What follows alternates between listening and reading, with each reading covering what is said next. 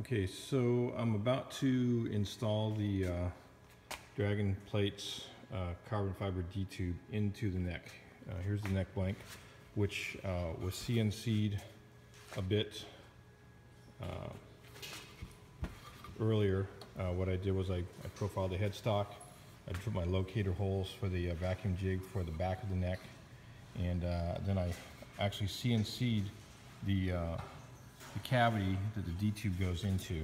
So you can see that it is going to fit in there. I cut this with a half inch bullnose bit on the CNC machine. If you were doing this by hand, you would want to use a three quarter inch uh, round over bit and uh, cut it in one pass, or actually you could take multiple depth passes.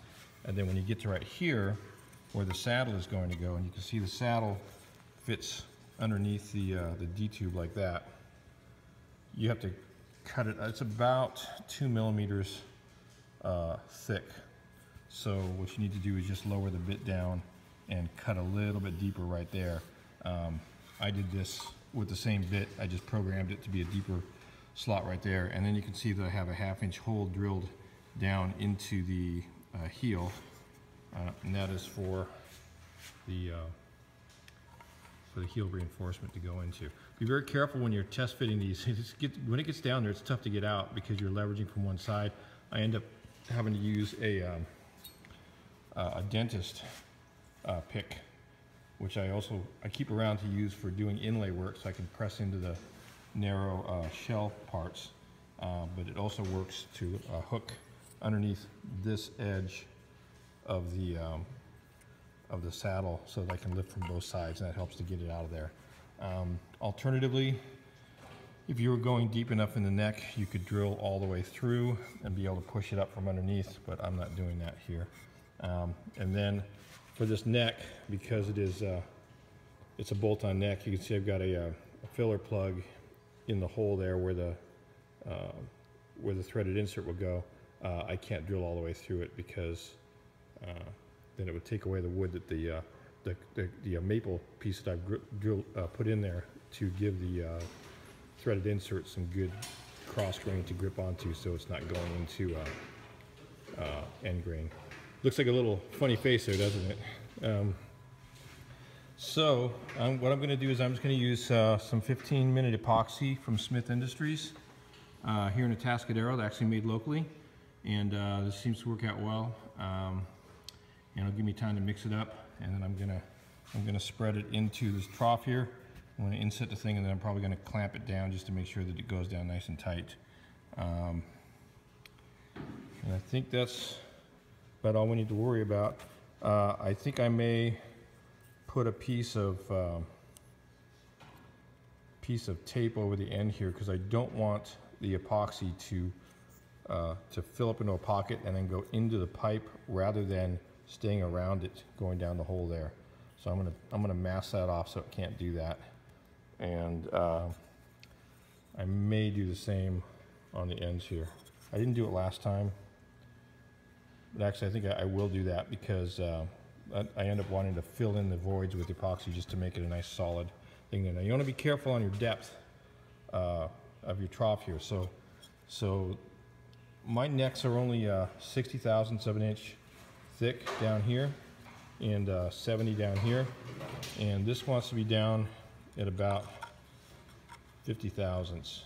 Um, in fact, it gets a little, little uh, light down there. In fact, once that neck's been carved, you, you can actually almost see light through it.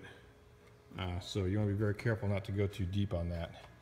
Um, that's about it. Once you get it in place, uh, it makes the, the neck very stiff and uh, keeps that heel from breaking.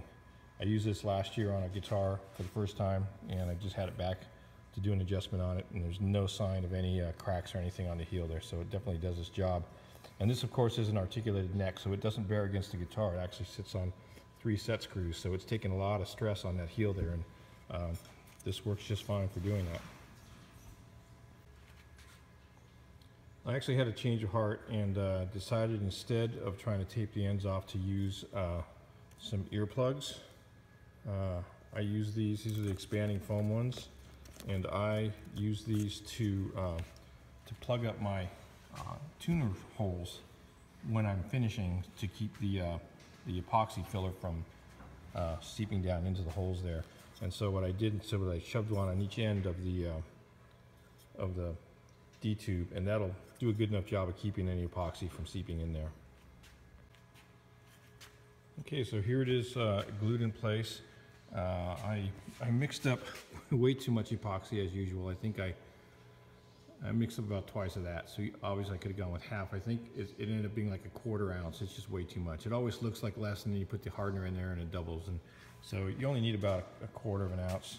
Um, so I, I spread it in there with the, uh, with the mixer, the, the same, uh, uh, popsicle stick that I used to mix it with. Uh, I spread it in this groove first, then I actually applied it to the, uh, the heel reinforcement on the sides of that and then put it down in there. Uh, I did tape off the end of that. And then the key is don't forget to spread glue in this area on the, uh, on the, uh, the heel reinforcement where, where it saddles the underside of this so that they adhere together. So it's in here and then I just dribbled the rest of the epoxy into the end here until it leveled out to give it a nice solid film for the void that I couldn't get to on the end. Uh, and it's pretty good. I'm just gonna put some light clamps on it to keep pressure on it, uh, to let it dry throughout the night. And then uh, tomorrow I'll be ready to CNC the backside of this neck here. And here it is all clamped in place. Uh, just use these very light clamps. I don't want to put too much pressure and squeeze the uh, epoxy out. And uh, I put some wax paper underneath the clamps just in case epoxy gets on them. I don't want to have them glued to the carbon fiber. All right, here it is after the uh, epoxy has mostly set. Uh, still a little bit tacky. Uh, but for the most part, it's good.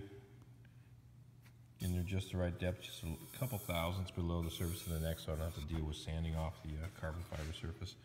Here's one of my plugs there. I could actually take that out now. Uh, so it's looking good. And that is the carbon fiber D-tube. I will uh, add some video of the neck after it's been machined.